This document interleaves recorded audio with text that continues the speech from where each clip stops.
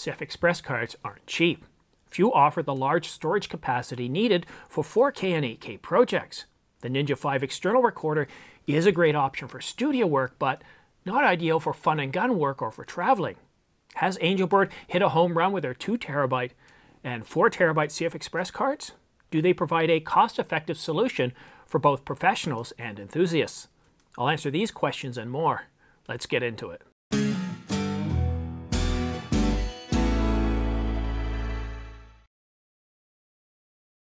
Hi, I'm Simon. Thanks for tuning into The Ordinary Filmmaker. If you're new here, subscribe to get notification of new videos like this one so you don't miss any news, rumors, or tutorials.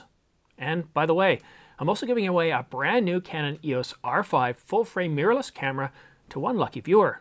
Details are in the description down below, or you can watch this video here. But essentially, all you have to do to have a chance of winning is simply subscribe. Most reviews start off with gratuitous shots of the product to show you what it looks like up close. But I'm a little strange. I like to dig into the company's vision and goals to understand why they do what they do and where they're going. Only then do I tear open the box and begin my evaluation. Angelbird's vision and creed stood out from other companies I looked at. They sound like a young company born to break the rules, focus on improving the customer experience, and delivering innovative products. A responsible James Dean sort of company. There's no no. We love doing what others don't dare to, breaking and bending technical boundaries to make your tools even faster, more capable, and versatile. They're not trying to keep up with the competition, merely happy making lower priced copies of the market leader or ensuring that the quality is good enough not to get too many bad reviews. They're striving to lead the competition, where others spend a lot of time analyzing market potential, testing consumer acceptance, or shelf impacts, we get busy creating the products you want, that might seem risky, but it's more fun to innovate with freedom, and the results speak for themselves. Having the freedom to innovate is certainly an incubator for success, and I think the results are paying off for us as end consumers, and they're about to release a 4 terabyte card. While not as fast as other CF Express cards on the market, the extra storage gives us the freedom to be mobile and produce content, eliminating that record anxiety. I've worked in my share of startups before the dot-com bubble, going back some 20 years ago, and I learned a lot. At one point, I built a web-based CRM system and bug tracking system using Perl, simply because we needed it and couldn't afford to purchase anything. I'd never written anything significant or even written to a database before. The application that I ended up creating had some 14,000 lines of code. I had many late nights, but it was worth it.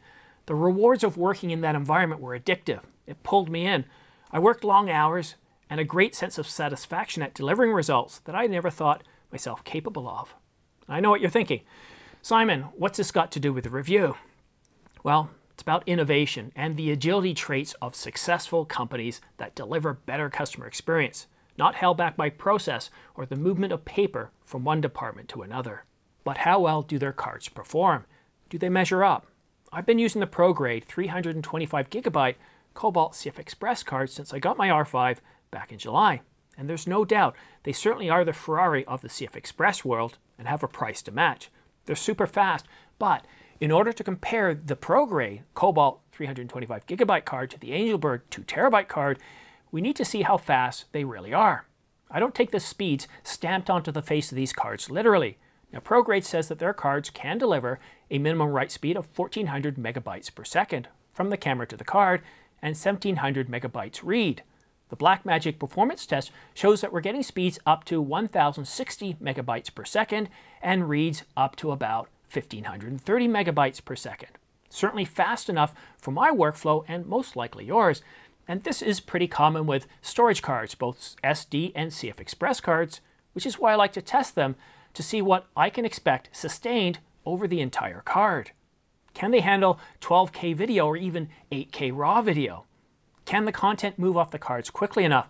The only results that really matter are how well, are how well the storage cards help us reach those objectives, not if they fall short of their stated specs. The lesson here, if you need 28 megabytes per second, don't get a card that advertises 30 megabytes per second. I ran the same benchmark test on the Angelbird 2TB CF Express card. As you can see here, the 2 terabyte card tops out at about 850 megabytes per second when writing data, and about 600 megabytes per second when reading data. I use F3 Write to validate these results. F3 is an open source piece of software, and I use it to check every card for performance. But I also use it to detect if the cards that I'm purchasing are actually fake cards. I highly recommend you testing every card you purchase before putting it out in the field. The last thing you want to do is learn the hard way that you purchased a fake because looking at these cards, you really can't tell the difference. Now F3 is for Mac. For Windows, I recommend using H2Test. It is also open source. I use F3 Write because it writes to every single cell, reporting the write speed every few seconds. F3 not only tests the write speed of the entire card, it does the same for the read speed. Now F3 Write got an average of 866 megabytes per second. This is slightly less than the advertised speed of 1000 megabytes per second. I'll cover the read test later. Next, I wanted to see how well the Angelbird 2TB card performs when recording 8K RAW video. This is the toughest real-world test I can give the card using my R5. My goal is to be able to record until the card fills up without the camera stopping due to performance issues. Does the read speed matter to you? Do you want to get your files off the card quickly? Well, it does matter to me. For the retest, I'll be using the iMac Pro. The ProGrade card is connected to the Mac using the ProGrade Thunderbolt 3 card reader. The Angelbird card is connected using the USB-C card reader. But before testing, I want to address how storage is measured. Every time I review storage, I get comments saying that I did it wrong, that cards are measured in bits, not bytes. As a general rule, data at rest is measured in bytes, and that's megabytes, gigabytes, terabytes, but the B is written as an uppercase B or capital B. But data in transmission is measured in bits, megabits and gigabits, and the B is a lowercase b. Now this is an important distinction because every byte contains 8 bits. Now this doesn't mean that you can't refer to data in transmission in bytes. I mean, after all, these are measurements, and you could go ahead and use miles and kilometers interchangeably, right? Things only get confusing if you write down 50 kilometers when you actually meant miles. So pay very careful attention to what the card uses and the uppercase or the lowercase b. Now with that out of the way, let's take a look at what data rates are needed for each video mode. The Canon R5 has a data rate of 470 megabits per second in 4K HQ. This mode captures the full sensor in 8K and downsamples in camera to 4K, providing you with much better detail. But if you want better dynamic range, turn on C-Log, but the data rate jumps up to 940 megabits per second. Want to shoot at 120 frames per second in 4K? That's 1880 megabits per second. But the heaviest demand on the card comes from 8K RAW. It requires a staggering 2600 megabits per second. That's 18 gigabytes per minute. Prefer to see the speed in bytes? No problem. Now let's bring in the benchmark results we got earlier. If we use the very conservative test results from F3 Write, we can see that the Angelbird 2TB CF Express card can easily handle not just 8K RAW and 30 frames per second, but should have no problems with 12K RAW with a ratio of 5 to 1. I choose Blackmagic's Ursa Mini Pro 12K's least compressed 12K video mode. But how much slower is the Angelbird 2TB CF Express card compared to the ProGrade 325GB card? Blackmagic showed that ProGrade can deliver 1530 megabytes per second read speed, while the Angelbird tops out at 600 megabytes per second read. Good enough, right? No, not at all. We need to do a real-world test. Mythbusters Adam Savage wouldn't stop with charting things out on a piece of paper, would he? No, they'd test the thing until it blows up. I placed the R5 outside in a well-ventilated area, in the shade, and the ambient temperature was 57 degrees Fahrenheit, so I didn't have to worry about overheating. Now while the R5 stopped recording twice, it was due to that pesky record limit of 30 minutes. I ended up getting an hour and 7 minutes before the battery died, and not once did I have any issue with the card. While having a slower write speed than the ProGrade Cobalt, it has no impact on recording 8K. Now let's see how well the two cards perform in real-world reading. I copied this 221 gigabyte 8K video file to both CF Express cards to prepare for this test. Now I'll copy the file from each card separately to the iMac Pro. Now some will point out that this is both a read and a write test, but the bottleneck we're testing is how fast the cards can read the data stored on the cards, not how fast the iMac can record and write data. Let's start with the Angelbird 2TB CF Express card. Through the magic of video editing, I've sped things up. It took 5 minutes and 4 seconds to copy the file from the Angelbird 2TB CF Express card to the Mac. Now let's see how fast the ProGrade Cobalt 325GB card performs the same task. Same 8K file, a definite improvement, 2 minutes and 11 seconds. That's consistent with the benchmark results we saw from Blackmagic earlier. I know what you're thinking. Simon, the Thunderbolt 3 port is faster than USB-C, and yes it is. I repeated the test switching the card readers, and there was no statistically significant variation. Let's recap. The Angelbird can write at least compressed 12K RAW video from the Blackmagic Ursa Mini 12K, 8K RAW from the R5, all this sustained without issue. It has a colossal 2 terabytes of storage, a slower read speed, but where does it compare on price? We designed and manufacture right where we are in Dornbirn, Austria. Ever heard of it?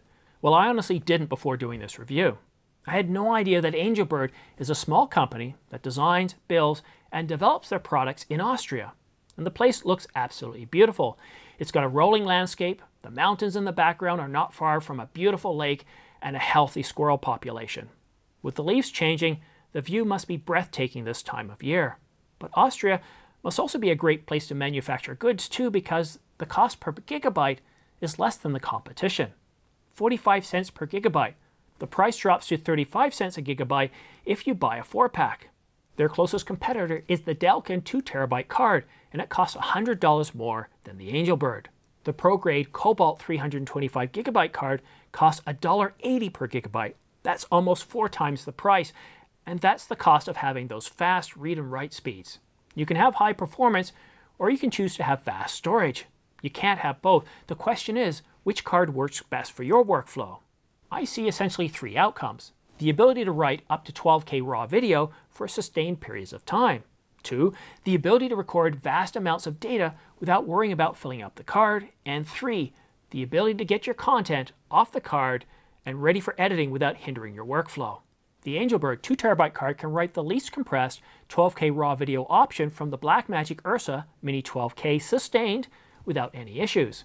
It has a colossal 2TB of storage, giving us the ability to record vast amounts of 4K video without worrying about filling up the card. And you can get the content off the card in a reasonable time, and it has the lowest price per gigabyte in its class. But let's address the read speed further. One capability could greatly impact your workflow and involves many variables. Do you convert your video to Apple ProRes? If so, the bottleneck for you will be the time to convert the files to Apple ProRes. Now my weekly Q&A video takes about 5 or 10 minutes to transfer to my iMac. And while that's happening, I'm working on other things like title and description, thumbnails, cleaning up the set. It's not a big issue. But if you need to convert files like that Q&A to Apple ProRes 422 or another format, it takes a considerable amount of time and a fast computer. But your scenarios might be different. If you do record a lot of video and need a video format like ProRes 422, get yourself an external recorder like the Ninja 5. It records Apple ProRes 422, Apple ProRes RAW, and several other video formats. You can even edit the files right off the SSD. This completely eliminates any of that transfer time and the need to convert those files to Apple ProRes. And this really is the best approach for this scenario. But every solution also has its drawbacks. The Ninja adds weight, it's more complex, more costly, and more things to check before filming. It's not going to eliminate your need for CF Express cards. The Ninja won't work in every situation. Do you want to travel a lot? Do you like doing fun and gun work? You're not going to be happy with traveling with another case to lug around. Keeping it light and simple is what matters to me, as well as being able to record when needed for as long as needed. It's also great if you don't have time constraints or need to get content edited and published in a hurry. And that's where the Angelbird 2TB CF Express card really comes in. At 45 cents per gigabyte, 35 cents if you buy in bulk, it's affordable, reduces complexity, and removes that dreaded range anxiety. I love that I no longer have to format the card after every use to make room for the next project. I can keep the content on the card longer easily producing a week's worth of content before formatting the card, reducing the risk that I'll format something I'm going to need later. Understanding the capabilities that you need will help you get the best product. I shoot 4K HQ most of the time. Waiting 10 minutes or so to offload the content is no biggie. I don't convert the files to ProRes most of the projects that I work on, so I don't have that huge delay. The ProGrade is still a terrific card, has great performance, but in hindsight, I wish I'd gotten the Angelbird 2TB card instead, or at least their 1TB back in July. It's better suited for the work that I do. But as my channel grows, I can see myself using more Angel, Angelbird terabyte, 2 terabyte cards or even the 4 terabyte card for traveling and fun and gun work, and using a Ninja for long video shoots like interviews or Q&A videos, eliminating that transfer and transcoding time. What about you? Does the Angelbird 2 terabyte card fit your workflow? Let me know in the comments section down below. But that's it for now. Don't forget to subscribe for your chance to win a Synco Lav S6E and M3 microphones. I'll be awarding this prize once the channel reaches 20,000 subscribers. And I'll be offering up a more expensive and different prize every 10,000 subscribers until we reach 100,000, at which point I'll be offering up, or awarding, I should say that I'll be awarding the Canon EOS R5, a brand new full-frame mirrorless camera to one lucky subscriber. But on that bombshell, it's time to go. Thanks for watching The Ordinary Filmmaker. We'll see you again soon.